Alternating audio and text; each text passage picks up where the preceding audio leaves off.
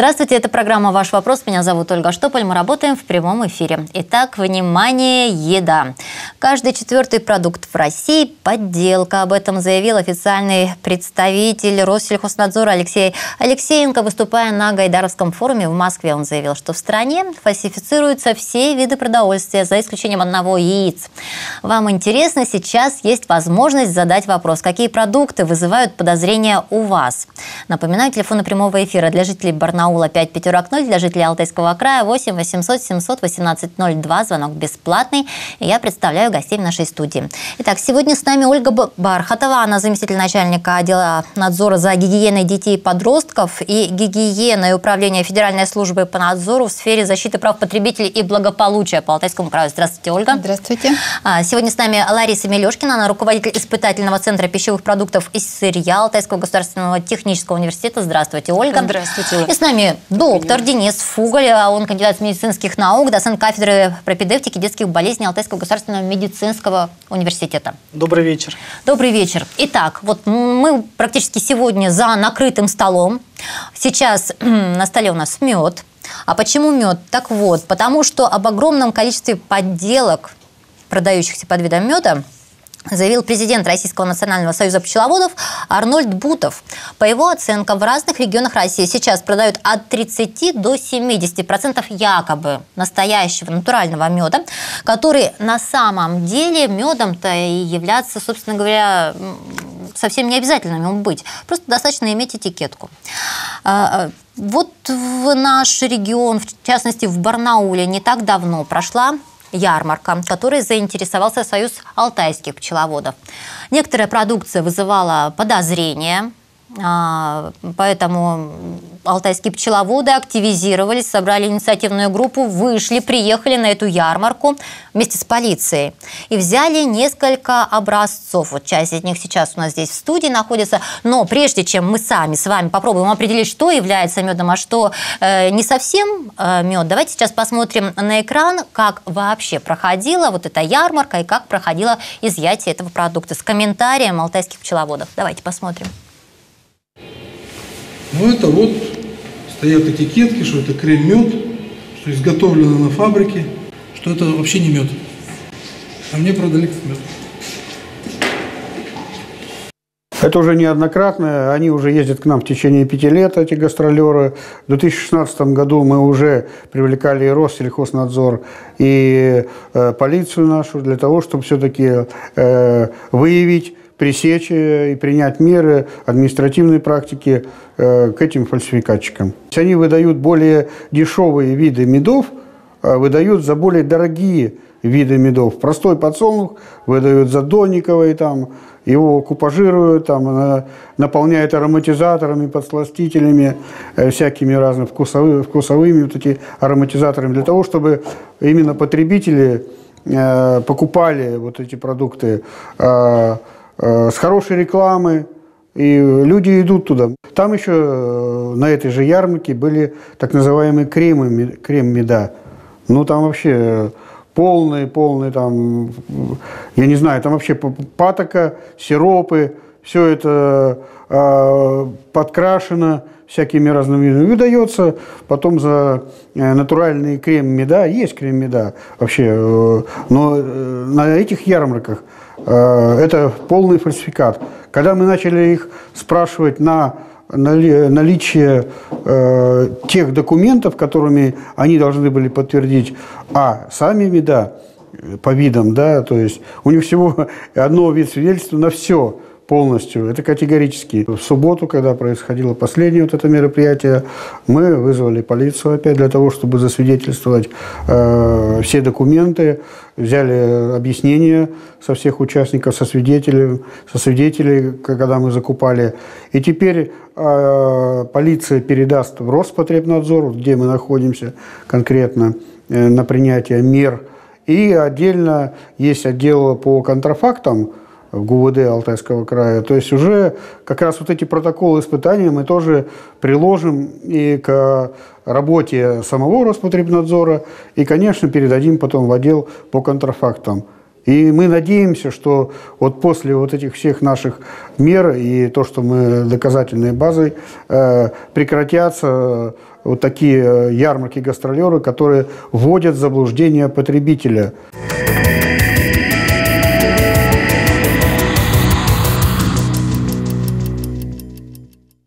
Так, мы продолжаем. Внимание, еда и внимание на наш стол, в нашу студию. Здесь мед, тот самый, о котором сейчас говорил э, представитель Союза пчеловодов Алтайского края. Ну, сразу, да, он обратил внимание на те самые крем-меда. Они отличаются по цвету. То есть, если мы говорим, что вот белый цвет – это не цвет меда, э, позвольте, я сразу скажу, что у меня есть э, список, я знаю, что здесь и мед есть, и не мед. Предварительный анализ, который мы провели в лаборатории, он готов. Я сейчас, ну, у меня есть небольшая подсказка, я сейчас предлагаю вам, уважаемые гости, посмотреть, попробовать, если решитесь, и определить. Вот они все пронумерованы, я не знаю, сейчас, если я покажу на камеру, вот такие вот номера есть, на каждой баночке. И мы сейчас можем отсортировать да, то, что является медом, и то, что не является медом. Итак, уважаемые гости, пожалуйста, пробуйте, угощайтесь. Я смотрю, Лариса готова э, взять люб... попить. Вода, да? То есть так правильно будет. Угу.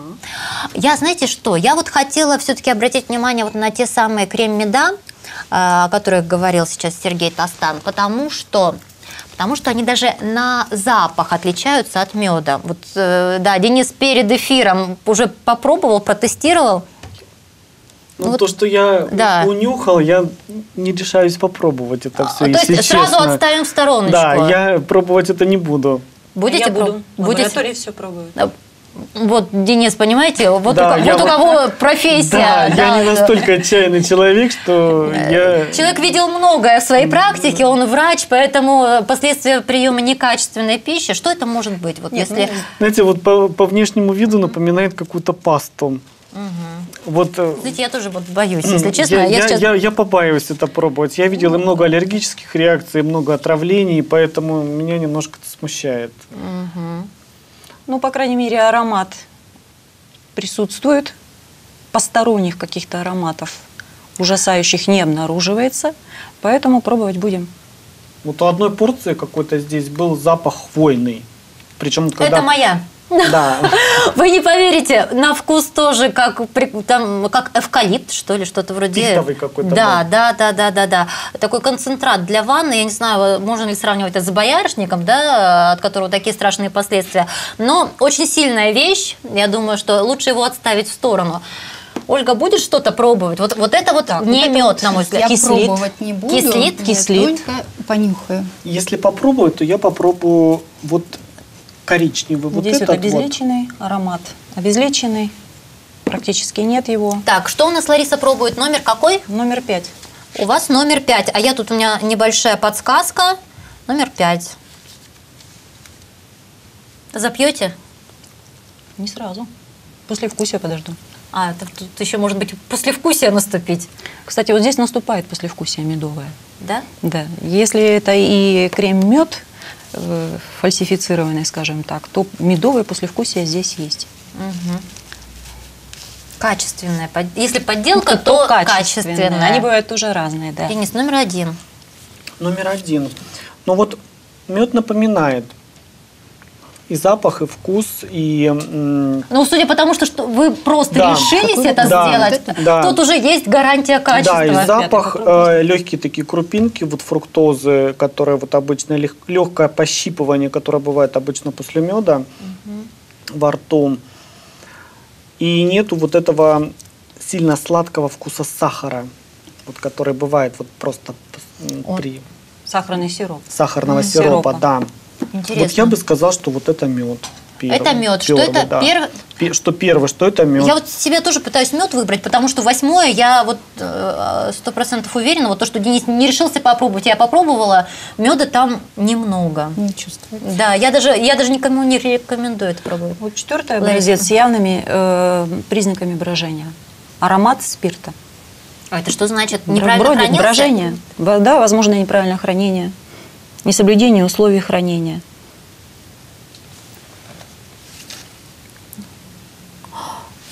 Вот седьмой.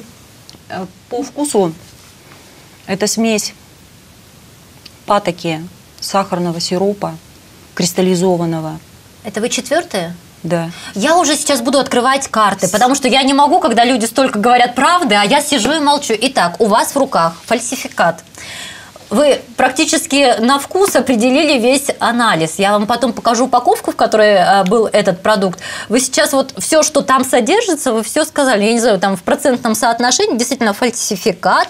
Действительно, кроме меда, да, здесь есть мед, содержится еще ряд э, вот э, э, дополнений, э, благодаря которым вот мед, собственно говоря, и приобрел вот такой вот вкус, который, да, сейчас, ну, можно сказать, что неприятен, да, потребителю? То есть- Абсолютно. то есть Этот не- однозначно даже по органолептическим характеристикам а, не соответствует требованиям. Предъявляем к меду, он сразу бы получил отрицательное заключение Абс- лаборатории. Абсолютно правы. Да, Лариса, спасибо большое. А вот Денис у нас пробовал первый, да, образец. Это действительно мед, мед разнотравья, мед алтайский. То есть ни с чем не перепутаешь, есть такое. И вот я попробовал седьмой. Он вот запаха как такового не имеет. Но вот вкус какой-то цветочный, немножко даже сказал, как слегка деколоновый. Чрезмерно насыщенный, Да, не- вкус какой-то чрезмерно насыщенный, неестественный. И вот он очень такой немножко резкий и э, едучий, оставляет после Но себя вот, здесь вот есть? все. Мед может быть даже и есть. Мгм. А вот, Но э, вот что даже ж- вот рез, резкое послевкусие остается. А что ж никто не угощается светлым, вот этим белым, крем меда, который так рекламировал Союз пчеловодов? Там есть натуральные, вот среди Может вот быть, белых я баночек. рет- может быть, я ретроград, но я считаю, Я что предпоч- мед до- должен быть медом, что никакого крема там не должно быть. Если сметана, это сметана, мед, это мед, молоко, это молоко. Ну вот у нас э, наши гости э, Лариса, Ольга пытаются да, определить, что у нас в белых. Восьмой, я сразу скажу, я его попробовала, никому не рекомендую. Это фальсификат действительно м, э, с непонятным... э, Ой, ой, напол- третий, вы правы, это эвкалипт. И третий, да, да, эвкалипт, согласитесь? Эвкалипт. Вот Это эвкалипт, это невозможно кушать совершенно. В лаборатории э, действительно сказали, что вот восьмое, ну, может, там не совсем эвкалипт, но что-то хвойное. А, Действительно, в баночке в восьмой фальсификат, в пятой баночке фальсификат. Где у нас пятая баночка? А, это повезло э, э, Роспотребнадзору. Ольга попробовала. Вам-то как оно? Абсолютно никакого ни вкуса, ни аромата, ничего нету. То есть какая-то непонятная, там, я не знаю, Субстанция? субстанция паста какая-то. Ну, Ваши э, сотрудники вашей лаборатории согласны, что это непонятная субстанция. Ну, как бы они определили, конечно, состав. Как вам? Горечь пережженной карамели, при этом цвет белый. Ну вот горечь пережженной карамели, вот такой У вкус. лаборантов большой вопрос, чем подкрашивалась вот эта субстанция, потому что красители тоже могут быть самые разные. Диоксидом титана, возможно. А Это что у нас оксид? Краситель белого цвета. Синтетический. Мгм. Да, ну чтобы придать вот такой. Такими красителями подкрашивают зефир, пастилу, постельные изделия. В составе можете обнаружить диоксид титана. А вот посмотрите, а вот эта серая масса, Вот это? да, номер, Я если подскажете, шестой. А вы- вот шестой это крем-мед. Это настоящий крем-мед. Если вот мы сейчас посмотрим по цвету, он даже по цвету отличается от вот тех трех э, образцов, которые были приобретены вот на той самой ярмарке гастролеров. То есть тут такой вот белый, бежевые оттенки, да, а это такой немножко сероватый какой-то цвет. Ну и... Ларис, Ну вот с кислотностью этого меда. Что-то не в порядке, он кислит, он кислый. Ну, вот это как раз крем-мед, там э, туда входит кроме меда еще добавки, и как-то это все взбивается, какой-то процесс и так далее. Но вот я хочу сказать, что обнаружили сотрудники лаборатории вот в тех образцах вот, белого цвета крем-мед, которые так называемый, ну, совершенно фальсификат, точно 100%, э, глюкоза-фруктозный сироп. Вот Ла- Лариса еще перед э, нашей программой да, говорила о том, что такое возможно. Вот что это за компоненты такие? Мне тут объясняли, что это кукуруза, зерновые культуры, крахмалы, которые в результате синтеза, переработки... Продукты гидролиза крахмала останавливаются гидролиз на определенной стадии, получают глюкозно-фруктозные сиропы. В пищевой промышленности они вообще используются очень широко, но их назначение явно не фальсификация меда. Конечно, в самом меде содержится тоже и глюкоза, и фруктоза. Поэтому интересно узнать, какие еще показатели лаборатории оценили. Ну, это официальная бумага, она у нас будет в нашем распоряжении. Ольга это проконтролирует, потому что действительно проводили все исследования в официальной лаборатории, э, которая имеет право проводить испытания, исследования там, целой массы продуктов. Э, ну, это действительно достоверный анализ. Я хочу сейчас дать слово представителю э, вот этого центра, представителю лаборатории, который, собственно говоря, и расскажет вот всю ту работу, которую они проводят вот уже не один год. Какие продукты они проверяют. Сейчас давайте посмотрим, послушаем.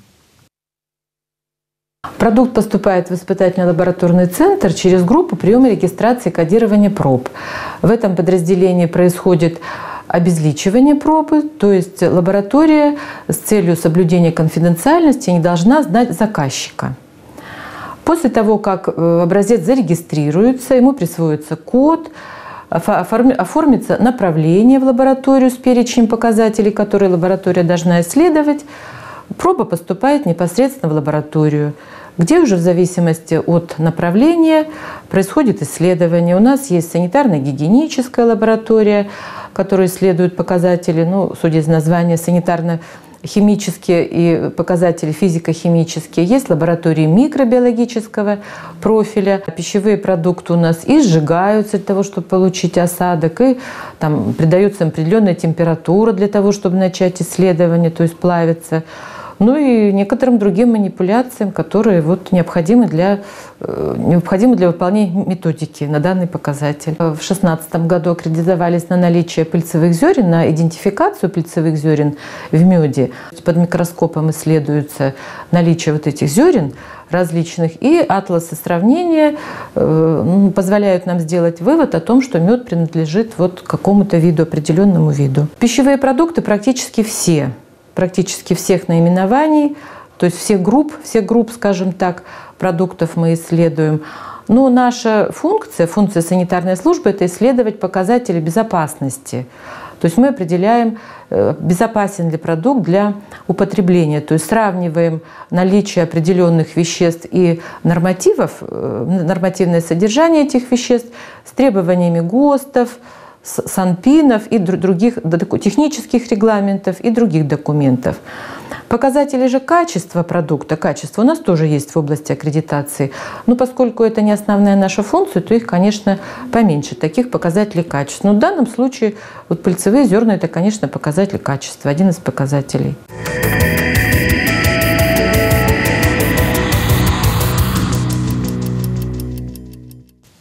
Мы продолжаем тему программы «Внимание! Еда». Ну и вот подсказывает, что у нас сейчас есть звонок. Мы ответим нашему телезрителю и продолжим беседу. Итак, здравствуйте. Здравствуйте. Откуда вы? Как вас зовут? Меня зовут Алексей. Живу я в городе Барнауле. Пасека у меня находится в Калманском районе. Ваш вопрос, Алексей. Э, мой вопрос такой. Вот э, сколько будет э, до сих пор времени будет, э, то есть есть фальсификация меда. Да. И мы, как пчеловоды, не можем до сих пор продавать э, свой продукт. Как, как будет, как власть будет реагировать на фальсификат меда. Вот так мой продукт. Спасибо, спасибо большое. Но вот мы уже говорили, что будет дальше, да, вот с тем фальсифицированным медом. Сергей Тостан уже говорил, да, чтобы к этому э, привлечены уже и полиция, и Роспотребнадзор, и Россельхознадзор. Работа в этом плане ведется. А, вот какое наказание вот, возможно и как возможно привлечь тех, кто продает вот такой некачественный продукт? Но если в ходе надзорных мероприятий по результатам лабораторной экспертизы мы выявляем, что продукт у нас не соответствует э, по показателям либо качества, либо безопасности, тем требованиям, которые установлены, то к продавцу применяются меры административного воздействия в соответствии с Кодексом об административных правонарушениях.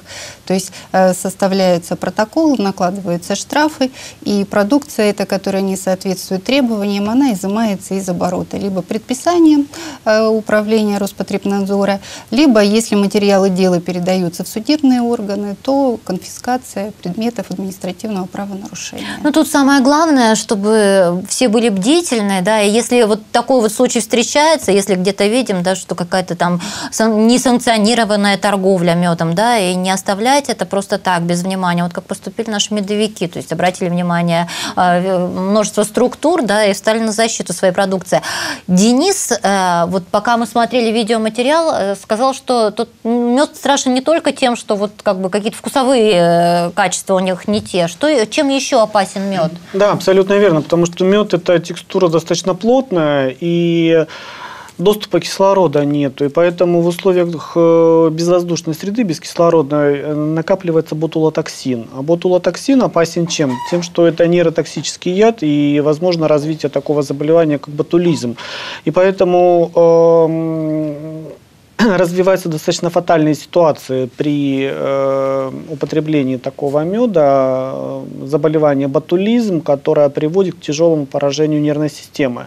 Почему вот на таможне и э, при вывозе меда за границу очень четко контролируется, везем мы мед или нет – и в каком вот, количестве. Конечно.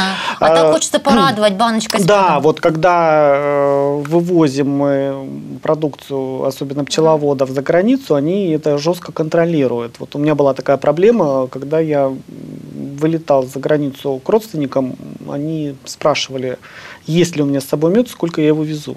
А есть какая-то доза, вот та, которая, то есть сколько нужно съесть меда, или можно съесть меда, не опасаясь заразиться? Ну, во-первых, как он хранился и э, как его обрабатывали. Потому что, допустим, как живут пчелы, как э, собирают мед. Угу. Потому что вот бывает, допустим, когда используют много дыма для окуривания. окуривания пчел, и если в ульях создается вот эта вот длительная безвоздушная uh-huh. среда, когда очень много дыма запускают в ульи, чтобы вытравить оттуда пчел, и они вот полудохлые, или даже uh-huh. очень много мертвых пчел там идет, когда они просто от угара да. Э, погибают, то вероятно, что вот ботулотоксин там и будет накапливаться в таком меде. Поэтому очень опасно даже. А ведь э, покупая мед э, непонятно у кого, и мы не уверены в том, что в каком, это реально безопасный да, он э, мед. хранился, как он. Да. А скажите, а то, что мед аллерген, вот говорят, что мед это самый, э, ну такой один из самых явных аллергенов. С другой стороны, медовики говорят, да что вы, мед никогда не вызывает аллергию. Вы в чем, знаете, где правда? Абсолютно неаллергенных продуктов вообще нет. У одного человека э, и гречка может вызвать аллергию, которую привычно считать неаллергенным продуктом, и э, кабачок может вызвать э, аллергию, и зеленое яблоко, которое считают неаллергенным продуктом, вызывает аллергическую реакцию. Просто мед – это ведь концентрат пыльцы, которую собирают пчелы, и он может вызвать аллергическую реакцию тех людей, у которых есть реакция на пыльцу растений.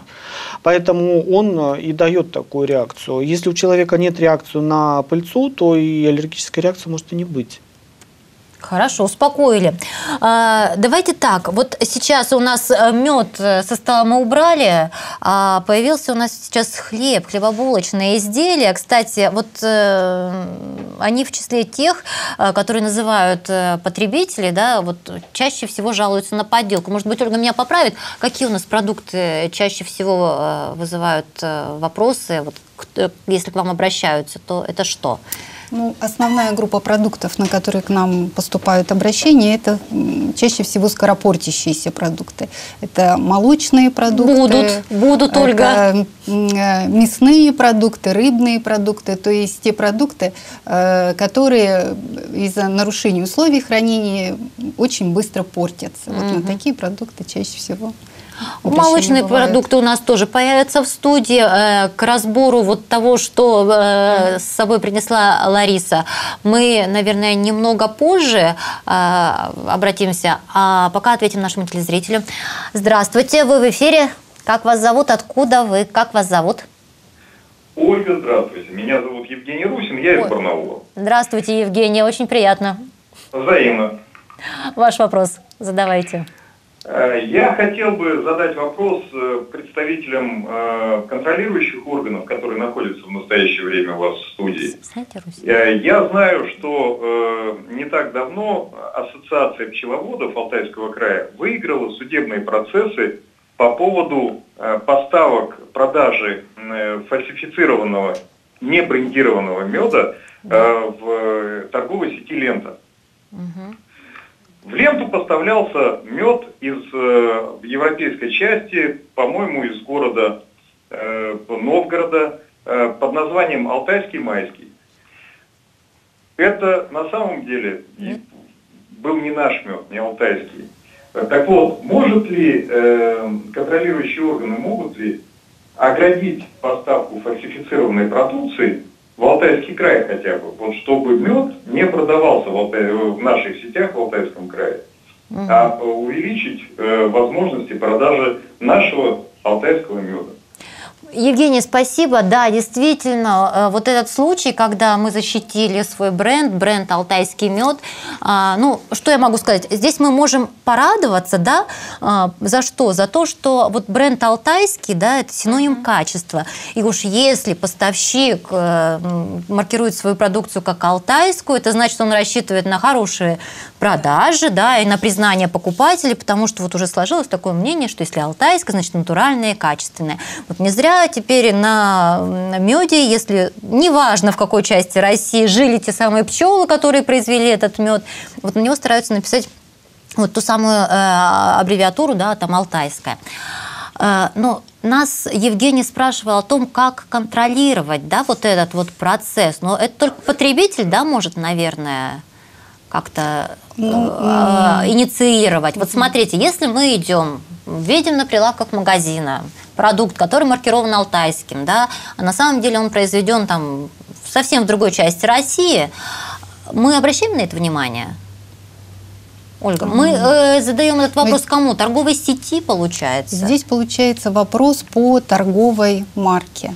То есть э, кто имеет право нанести данную торговую марку, кто не имеет. Мы занимаемся вопросами качества и безопасности. Uh-huh. То есть неважно, какая торговая Все, марка. Поняла на данном продукте. Главное, То есть, чтобы он был безопасным. Продукт, конечно, главное, чтобы он был безопасным. А в какую структуру а, обращаться, если вот э, кто это лицензирование, скорее всего, да, наверное, если помогут мне гости, если нет, будем выяснять уже после эфира. Недобросовестное использование торговой марки. Да, да, да, да, да. Это, это антимонопольные службы. Антимоно... Ну, это мы гадать всего. не будем, действительно, мы зададим этот вопрос э, тем специалистам, которые, ну, да, которые способны на него ответить. Роспотребнадзор начнет этим заниматься, его обвинят в предвзятости. Ну, как правило, занимается этим вопросом держатель торговой марки. Он сам наиболее заинтересован, чтобы репутация его марки была высока. Ну, Поэтому как... проще даже обратиться к тем, кто держит, является держателем марки «Алтайский мед». Это угу. ассоциация наша алтайская производителей меда. Вот. Это самое надежное, потому что они сами, самое заинтересованное лицо том, чтобы здесь не было никакой подделки. А мне подсказывают, у Евгения есть еще один вопрос. Он сейчас э, остается с нами на связи. Давайте выслушаем. Да, Евгений, продолжайте, пожалуйста. Спасибо большое за возможность задать еще один вопрос. Э, в мае 2016 э, года Министерство сельского хозяйства выпустило приказ, который ограничивает количество ульев в частных подворьях. Как? Вот в нашем приказ, по-моему, 194. Э, и э, в этом смысле эм, жалко, что нет, конечно, представителей нашего Министерства сельского хозяйства. Хотелось бы спросить, а мы, как регион, э, который декларирует и называет себя сельскохозяйственным, можем каким-то образом защитить наше производство, производство нашего меда алтайского, его сокращение для того, чтобы фальсификатов больше к нам не поступало? Угу. Евгений, вот действительно правильно заметили, что сейчас вот в данный момент ответить на этот вопрос э, никто из собравшихся не может. Это не в компетенции врачей, э, ученых, Роспотребнадзора. Э, на самом деле, я этот вопрос зафиксировала, мы его озвучим и обязательно получим комментарии. Вот как раз по поводу количества ульев в частных подворьях, чем руководствовались, да, ограничивая это число, ну и так далее. Все сопутствующие вопросы, ответы разместим у нас нас в эфире на сайте, так что оставайтесь с нами, следите за информацией. Ну а мы продолжаем, рассмотрим хлеб, э, огромное количество хлебобулочных изделий. Я смотрю, тут даже вот с такими, а, я сейчас покажу телезрителям, хорошо, Лариса? Хорошо, даже вот с такими вот пометками угу. Лариса готовилась, и поэтому, ну вот, э, Ну, на первый взгляд, все же хорошо. Что, что здесь вас смутило? Ну, на первый вот. взгляд, это, конечно, хорошо. А комментарии Изделие больше... имеется, упаковка да, тоже. упаковка тоже, вид презентабельный. Я бы вот хотела начать немножко даже не с хлеба, хорошо. а с того, что у нас есть такая тенденция в последнее время на рынке размещение на продукции знаков эко, био, натуральный, да, органик, конечно. функциональное питание. Чтобы подсказать покупателю. Да, чтобы подсказать покупателю, привлечь его внимание. Угу. Это модно. Покупатель, это модно, это да. модно. Покупатель на это реагировать не должен, он должен взять и посмотреть внимательно маркировку, потому что маркировка – это паспорт продукции, который нам доступен. Да? Э, по органическим продуктам, но здесь их не они не представлены, потому что уж слишком они явно, не так их много у нас угу. в Алтайском крае, скажу следующее, что если продукция имеет обозначение надпись «органик», то она вырабатывается по ГОСТу на продукты органические. Соответственно, возделывание без всяких ядохимикатов, никаких средств защиты растений, никаких ГМО-семян. Угу. Выращивание с самого вообще, начала. С самого угу. начала. Так. Выращивание сельхозживотных, никаких стимуляторов роста, ветпрепаратов, абсолютно никаких антибиотиков. Далее, на этапе переработки продукции отсутствие полной химии, отсутствие ионизирующего излучения. Таким образом, продукция эта она будет стоить несколько раз дороже. Потому Конечно. что выход меньше, соответственно, себестоимость совершенно другая. Просто так взять и указать органик нельзя. Продукция должна соответствовать ГОСТу на органические продукты. Тогда предприятие сделает что? Оно наверняка получит декларацию на органические продукты в любой добровольной системе. И мы должны на упаковочке такой продукции искать какой-то символ. Вот, допустим, если бы была международная система декларирования... У меня так и тянется рука к зеленой, коро... к зеленой да. коробочке. Вы говорите здесь, органика. Здесь нет ничего, нет? никакого символа, подтверждающего того, что этот продукт органический, но он и не претендует на органический. Здесь просто привлекательное наименование био-био. Вот как хочешь и понимай. Это пока не гастировано. Этот термин не гастирован. Угу. Далее. Ну, а зеленый цвет? А, это да, привлекает. Привлекает, привлекает конечно. что это полезно для да. здоровья и так далее. Э, далее, продукты функциональные. Вот э, тоже мы видим на упаковках функциональное питание. Это должно не быть не просто так нанесено, это должно а, появиться наименование на основе доказательств. Потому что если продукт функциональный, то в нем должно содержаться не менее 15% биологически активных веществ от суточной нормы потребления. И в данных о пищевой ценности эти данные должны быть приведены. Потребитель обязан поддерживать эту, э, эти величины на всем уровне, угу. на, во всех сроках, на всех сроках хранения. И у него должны быть протоколы испытаний соответствующие. Почему вот эти два образца здесь появились? Берем вот этот образец, а, указано, что данный образец является источником минеральных веществ, клетчатки и витаминов. Смотрим пищевую ценность. Про клетчатку ни слова, про витамины, минеральные вещества также ни слова. То есть чем, подтвер... ну, как не может быть? чем подтверждено то, что этот продукт является источником? Ничем. Соответственно, я, для меня сейчас открытие, действительно. Самое главное на продукты смотрите термин «источник». Угу. Потому что если продукт «источник», мы открываем ГОСТ-Р 55 577, котором указано, какие нормативы клетчатки должны быть. Клетчатки должно быть, кстати, не так и много, 3 грамма на 100 граммов Оцените. продукции. Угу. Я уверена, что в этих слайсах ее больше даже, гораздо. Поэтому мне непонятно, почему предприятия не выходят на рынок открыто, честно, просто проверив эту клетчатку. Вот, вот, ну, вот я насколько поняла, состав вот, вот, вот весь. И, все. Углеводы, и все, больше ничего. Чтобы сказать, что это функциональный продукт питания, здесь должно быть сколько клетчатки, сколько витаминов, пищевых волокон, витаминов. Функциональное питание – это то питание, которое позволяет выполнять определенную функцию. Это пищевые волокна, это пробиотики, это пребиотики, это омега-6 и омега-3 жирные кислоты, кислоты, и это микроэлементы. Цинк, а, селен, йод, железо. Все, они же не должны все присутствовать в Нет, этом продукте? А, большинство из них. Ну, угу. какой-то основной какой-то компонент. Либо про пробиотики, угу. либо пищевые волокна. А, вы-то сами как к функциональному питанию? Не вот... Это основное наше питание. То есть у нас а, разновидности, ну вот как питание, диетологические угу. особенности. Есть оптимальное, есть рациональное, есть балансированное питание, есть функциональное питание. Конечно, в идеале, если это идет функциональное питание – Потому что, ну вот что такое сбалансированное, э, там, сбалансированное питание? Там есть белок, жир, углевод. Там они идут вот стандартно, как нас в школе учили, 1, 1, 4. Угу. Одна часть Разделите белка. тарелку одна, на... Да, да, нет, на, вот... Э, это вы так не любите, Нет, да? а одна часть белка, одна часть жира, 4 части углевода. Вот это идет там сбалансированное питание. Оптимальное питание – это питание, подобранное под определенную, допустим, нагрузку. Вот есть там столевар, вот есть ткачиха, вот, вот есть там школьник. Вот это оптимальное питание.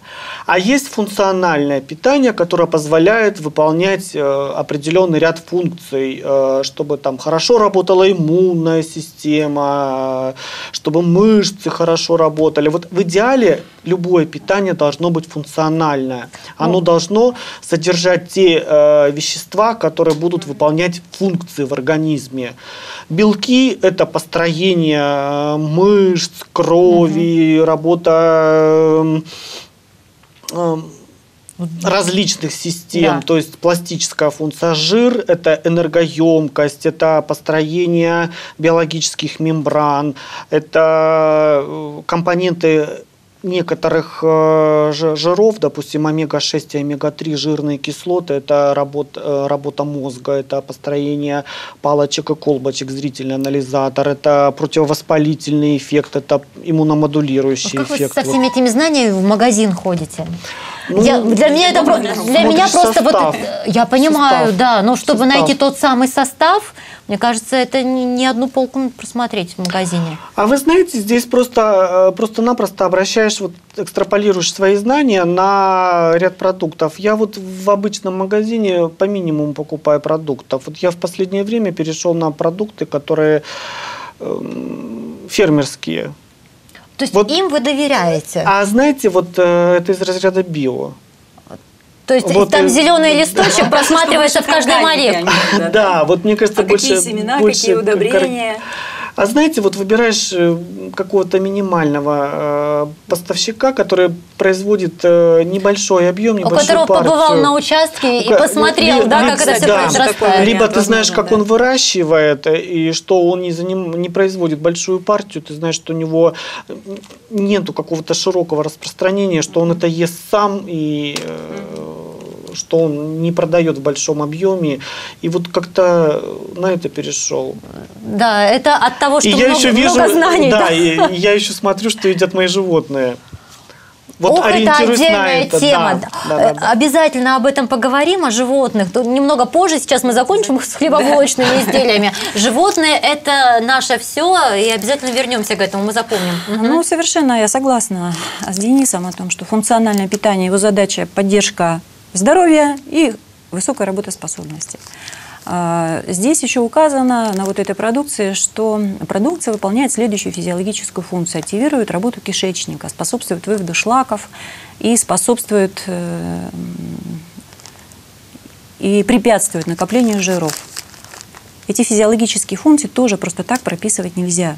Поскольку продукция не является источником вообще ничего, кроме белков, жиров, углеводов, Соответственно, это все аннулируется. Угу. Это недостоверная ну, информация. Не, да, не принимаем во внимание. Так. Угу. А, по остальным продуктам, давайте посмотрим, по маркировке остальных продуктов. А, зубомайская, например, да? Да, вот я ее самая первая взяла, чем зубомайская.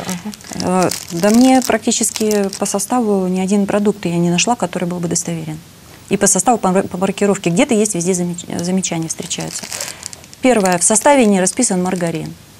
Даже если его меньше 2%, но в состав маргарина входит эмульгатор. Его указать обязаны.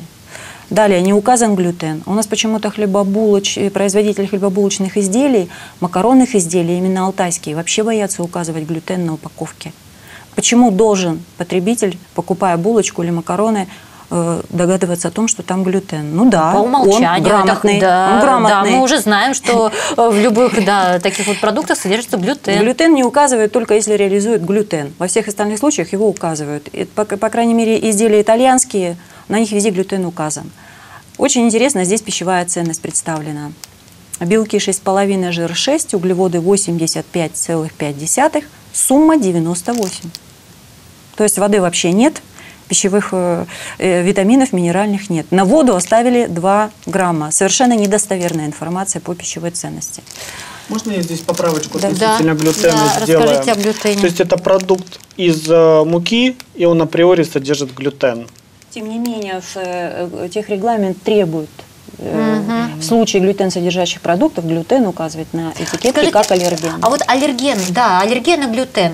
Это мы, э, это вот сейчас, в последнее время очень часто, да, мы слышим такое у детей и так далее. Аллерген на глютен, это что значит? Нельзя совершенно употреблять изделия из муки? Здесь э, несколько разные вещи есть э, с глютеном. Есть целиакия, есть аллерген на глютен разные механизмы развития данного состояния, потому что целиакия – это состояние, которое требует пожизненного исключения глютен содержащих продуктов. А аллергия на глютен – это временное исключение, к которому можно в последующем привыкнуть. Глютен – это не только пшеница, это и рожь, и ячмень, да. и овес. И в случае, э, в случае целиакии э, глютен э, необходимо исключать полностью. И здесь э, бывает такая ситуация, что глютен бывает скрытый и явный. Скрытый глютен – это то, что добавляется в, составе различных компонентов соусов, э, масла, сливочного, плавленых сыров, смешанных приправ. А учитывая то, что у нас э, зернокомбинаты, где у нас есть и гречка, и и рис, где и... все это параллельно угу. перерабатывается и, возможно, контаминация даже безглютеновых круп глютен содержащими, мы не даем гарантии, что у нас даже безглютеновые крупы могут не содержать глютена. Это первый момент. Второй момент приготовления безглютеновых э, продуктов у нас опять же может содержать в себе глютен, потому что нет отдельно да, выделенных да, линий. Да, я иногда встречаю Одна на продуктах, да, что да, содержит, содержит следы глютена. Следы глютена, потому что, да. потому что у нас нету отдельных э, линий выделенных для производства безглютеновых продуктов. идет контаминация на этапе производства. И за рубежом, допустим, э, есть заводы, которые производят только безглютеновое. Э, поэтому там чистая да, линия. Поэтому, да, там даже сотрудникам, которые работают на этом производстве, нельзя проносить свою угу. еду э, на завод, чтобы они не могли свою, своей едой контаминировать э, эту продукцию. Очень серьезный подход. Да, плюс еще э, вот в рекомендациях э, СБГАН э, и Кодекс Алиментариус, это Европейская ассоциация педиатров, гастроэнтерологов, нутрициологов, э, там указывается, что содержание глютена должно быть меньше 20 ppm, это 20 миллиграмм на килограмм продукта. Угу. И контроль за содержанием глютена в продукте должен осуществляться на этапах заготовки сырья, производства продукта, э, упаковки и реализации. У нас в Алтайском крае это нереально. Мы, вот, кстати, проводили с кафедрой технологии производства пищевой, пищевого, пищевого технологии хранения, технологии переработки хран... зерна. Да. Ага, это, это ваш университет. Да, технического университета. Мы э, проводили совместную работу. Были изумительные рецепты продуктов, э, проводили, но видите, как это была такая пилотная работа, пекли хлеб, пекли э, пряники, делали корзинки песочные, которые можно было. Это все делалось в домашних условиях, потому что невозможно выделить вот такую вот отдельную линию. Ни один хлебокомбинат не будет это делать. Потому что это надо делать в большой партии, чтобы шла большая реализация. У нас в Алтайском крае нету такого большого количества людей, да, чтобы организовать да. вот э, целую линию. Чтобы поставлять это во все остальные регионы, нету такой упаковочной линии. Да, да, да, годности продукции. Да. И у нас нету таких лабораторий, которые будут э, сырье контролировать. Есть глютен? Да. Лаборатории да. такие Это вот у есть. вас? Нет, это Центр оценки Центр... качества зерна. Они определяют содержание глютена, аккредитованы на глютен. А, это вот последняя новость. Слава это, Богу. А вот. А почему тогда... У нас, смотрите, у нас появилась зерна. лаборатория, теперь Появилась очередь потому за линией. То есть потому у нас что должна появиться линия. Потому да, что на тот момент мы отправляли это все в Москву. Изменилась ситуация. Да. Есть вот, аккредитованная Смотрите, у нас как, как у нас все идет. Да, у нас есть лаборатория, теперь нам нужна линия. Теперь нужна линия. У нас есть рецептуры, которые мы готовы просто подарить. у нас просто подарить Да, есть рецептуры. В общем, если нас смотрят сейчас предприниматели какие-то заинтересованные, просто... Потому что вот у нас есть, знаете, вот, а, у нас есть очень добрые люди. Э, я считаю, что это очень добрые люди, которые раз в месяц производят для наших детей с целиакией э, колбасу безглютеновую и сосиски. Угу. У нас есть общество детей с целиакией э, в Алтайском да. крае, и для них э, раз в месяц по индивидуальному заказу, то есть э, деткам формируют заказ, в это предприятие этот заказ передают, и они конкретно под каждого ребенка производят э, на своей линии, они останавливают эту линию, ее промывают, создают сосиски, колбасы, и забирают этот заказ, и э, вот и это было бы идеально, если бы Если бы еще и хлеб, да, хлебобулочные, да, мучные изделия да, могли да, быть. Да. Я, вот, знаете, у нас времени не так много, давайте, знаете, что сейчас сделаем? Мы продолжим разговор о хлебобулочных изделиях, но сначала мы посмотрим э, наш видеоматериал, материал, мы вышли на улицу города Барнаула и спросили, ну вот каким же продуктом чаще всего э, вопросы возникают у наших потребителей. Давайте сейчас посмотрим, Хорошо. ну и продолжим обсуждение. Когда молоко скиснет, оно почему-то синее, а нету сверху сметаны. Поэтому, поэтому, ну, естественно, значит, половина на воде. Вот. Ну, а который подороже, оно все-таки немножко... Бутылку можно помыть. А бывает такое, что даже бутылку не надо мыть, она вот чистая. Еще от этого зависит, от поставщика. Вот, например, там один поставщик, он зарекомендовал себя хорошо, хорошая сметана, а другой сметанный продукт уже качество другое. А, знаете, да, что если... Конечно, да. А как же? Но обращайте на это внимание. Обязательно. Какие продукты чаще всего вопросы вызывают? Вопросы сырки творожные. Глазированные? Да. А что в них смущает? Качество. А какие они должны быть, вот на ваш взгляд? И что в них не так? Не знаю, не знаю. Раньше вкуснее было? Да. Кефирчик качества хорошего сейчас? Кефирчик, когда его не перевернешь наоборот э, буквами и надписью, то в, то в верхней части его галимая вода. И поэтому я переворачиваю, подожду, когда там маленечко все разрыхлится, и тогда только наливаю. Да, это в однопроцентном кефирчике такое состояние его. Претензий нет. Тем более разнообразие продуктов. Я думаю, все порошковое. Какое-нибудь молоко. Один порошок. Какие продукты чаще всего вопросы вызывают? Качество каких продуктов? Да почти все.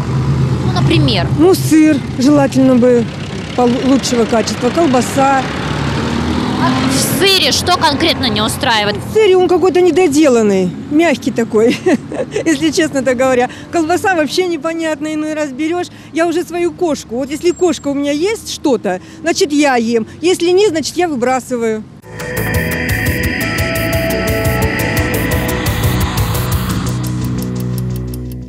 Итак, мы продолжаем тему программы «Внимание! Еда». И вот как раз прозвучало последнее мнение о животных, это что проверяют э, на качество продуктов на животных. Об этом поговорим буквально через несколько минут после того, как ответим нашему телезрителю. Здравствуйте.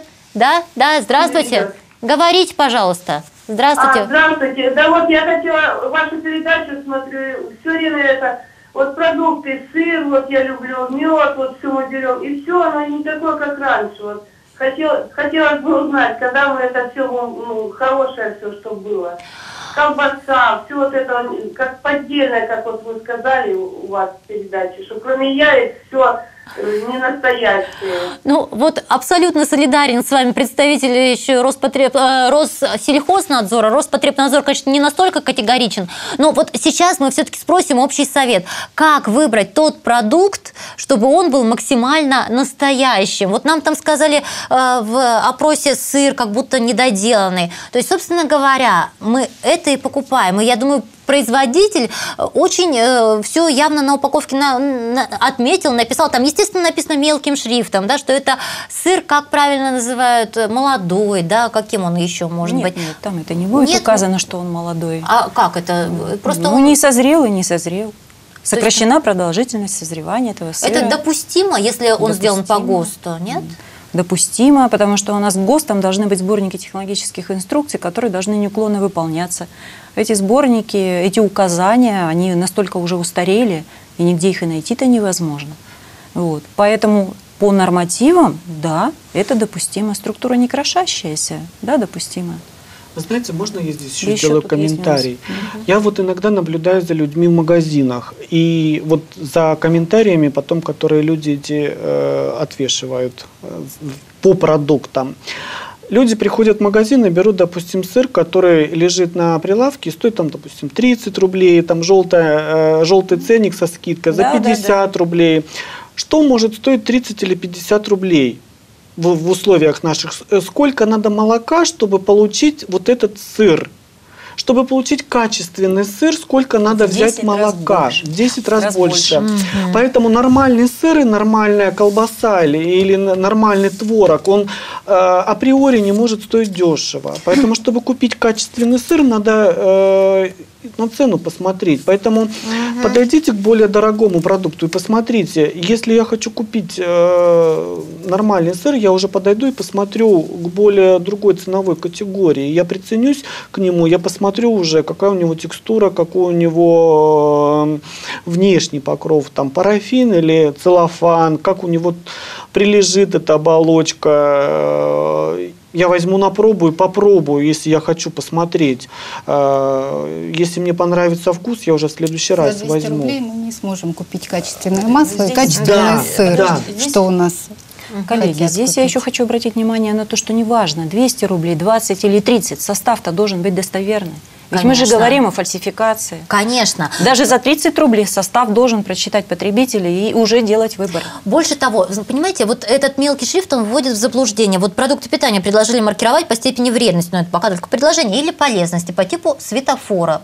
То есть э, это у нас предложил специальный представитель президента Российской Федерации по вопросам природной деятельности, экологии э, И, в общем, чтобы было виднее и понятнее. Вот лежит на прилавке, да, мы уже пишем, что это продукт, там, сырный продукт или еще что мо- молокосодержащий, все что угодно. А теперь еще и будет подчеркнут цветом, да, то есть э, вот это, конечно, дополнительная ответственность и обязанность производителя. Не знаю, насколько поддержит, не поддержит это предложение, но тем не менее, но как... Кто будет, э, где эта градация? Кто будет этим Идея заниматься? хорошая, но будут ли это делать и будут ли на это обращать внимание люди? Обращать?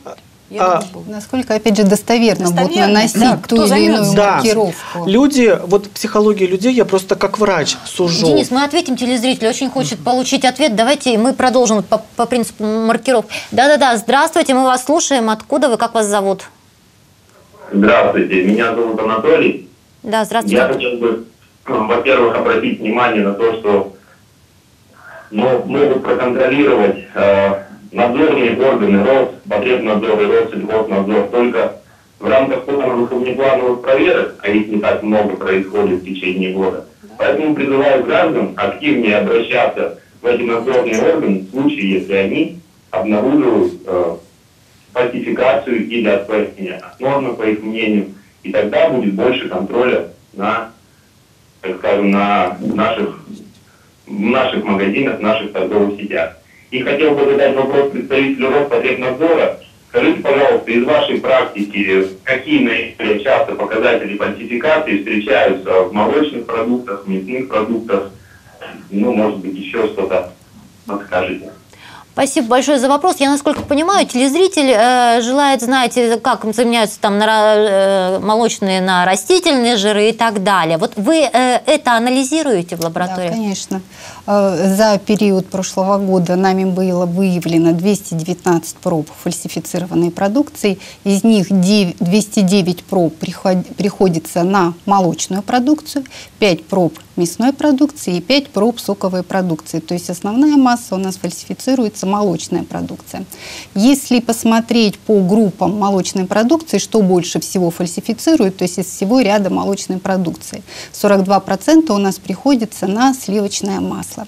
30% приходится на сгущенное молоко, 10% сыр, 6% мороженое и сметана и творог. То есть основное это, конечно, сливочное, Сливочное масло. масло. Да, Мгм. фальсифицируют его жирами не молочного происхождения, то есть это заменители молочного жира.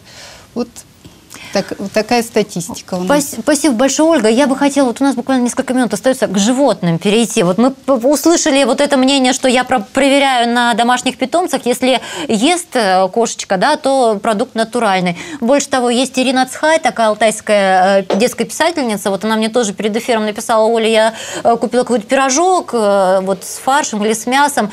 Кошечку гостила, она не ест. Теперь я переживаю, что же я съела. Вот, Денис, у вас такое же какое-то мнение, да? То есть вы Да, проверяете на животных?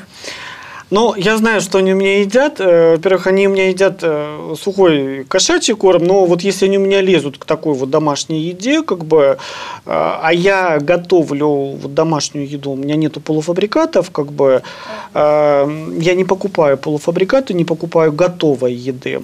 Из молочных продуктов они у меня едят сливочное масло ануйское, вот они лезут вот к сливочному маслу, к ануйскому. За показа и Роспотребнадзор радостно улыбается. Да, они у меня, да, они у меня едят зеленодольский сыр а- ануйский и куяганский. Они у меня э, из йогуртов э, белый э, даноновский йогурт. Вот только лишь Данон э, производитель. И э, черно, черно-бородинский хлеб они мне дико полюбили, э, который выпекают в, селе Лебяжем. Запомнили, записали, ориентируемся У меня на вот причем, предпочтение. причем покупаю этот хлеб, вот маленький э, магазинчик, он ни, никакой не сетевой, рядом с домом. Вот Да, то, что вы говорите, да, прове- по- да, покупаем у да, проверенных да, э, поставщиков. Вот буквально несколько минут, если уж мы на хлебе остановились, давайте вот э, оставшиеся посмотрим образцы. Мы еще о крупе ничего не сказали. Ну, оставшиеся образцы, они тоже грешат маркировкой недостоверной. Допустим, на батоне особый, вот здесь непонятно, с чего сформирован цвет такой. Цвет? Вообще, абсолютно. Ну, То есть цвет хороший коричневый, мука пшеничная, А, мука высшего пшеничная? сорта. Все. Подождите, можно я взгляну? Действительно? Больше ничего нет. А, а отруби? Отруби, Но отруби есть? цвет не дают такой. То есть Ага. явно не хватает в составе, э, может быть, сахарного колера, но веществ не хватает однозначно. Семена кун- кунжута указаны, возможно, внутри. Вот я вообще кунжута не вижу, да? Или вы, вы его где-то... Нет, нет, Нет, не здесь было, да? нет, это утруби. Мгм. А вот на этом, э, касательно этого хлеба, я бы его не приобрела по той причине, что э, в него внесен ароматизатор сливочное масло и краситель аната. Зачем в хлеб вносить ароматизатор? Ведь э, можно же получить приятный, очень хороший аромат и методом брожения, да? Ну, мы мед уже попробовали, там Да, ароматизаторы поэтому, добавлены. ну, были, была, видимо, какая-то идея у предприятия. Ну и еще вот на примере вот этой крупы хочу сказать, А что, что крупа? это вот хлопья овсяные Геркулес, Ага, хлопья любимый овсяные. всеми завтрак. Да. Но э, Рекомендуемый, в я бы даже сказала, да? Да, рекомендуемый. Так же, как и гречневая, по- очень популярная, и рисовая. Вот три вида крупы очень популярны. В магазине я бы никогда не приобрела, но лаборатория забраковать эту крупу права не имеет. Потому что у нас нет такого показателя в гости, как массовая доля мучки. А здесь вы видите, хлопья А все просто разрушенные. они лом- э, Они, да. да. нарушена технология, э, технология пропаривания, плющения. Хлопья очень хрупкие, и при транспортировании вот так вот раскрашиваются. Ага. В итоге, когда дойдет до конечного потребителя, возможно, здесь будет 15-20% мучки, а не хлопьев. Мгм. Это и будет влиять и на сроки годности, потому что 4 месяца овсянки сроки годности, а мелкий продукт очень быстро прогоркает. Ну, естественно, на готовую продукцию. Вот у нас совсем по времени э, всё ограничено. Я думаю, что вот э, Я что бы коротко, да. Я бы, знаете, что хотела сказать? Э, В прошлом году у нас была принята стратегия повышения качества пищевой продукции. И вот те проблемы, которые мы с вами отражаем, они в этой стратегии тоже есть. Что и недостаточно методов испытаний, нет единой системы лабораторной базы, э, очень много замечаний по ТУ, по СТО. Э, Всем, кто интересуется здоровым питанием, если времени нет уже, я бы советовала эту Совсем стратегию, коротко, да. стратегию почитать, потому что намеченные цели в этой стратегии нас возвращают в какой-то мере к началу 2000-х. А, вновь ужесточается ситуация со стандартами организации, с обоснованием сроков годности. И надеюсь, что в ходе реализации вот этих мероприятий качество все-таки, ситуация с качеством улучшится. И самое главное, запланировано а, постоянное проведение мониторинга качества по стране, создании единой информационной базы и лабораторных испытаний, и недобросовестных производителей. И уже на сегодня есть такая организация, работающая под эгидой правительства, Роскачество, да, на сайте которой мы можем посмотреть результаты проведенных веерных испытаний. Спасибо большое, уважаемые гости. Вот время беседы ограничено. Еще есть много тем для нашего общения. Увидимся в студии вновь. Спасибо вам большое. Нашим телезрителям спасибо, спасибо за общение. До встречи.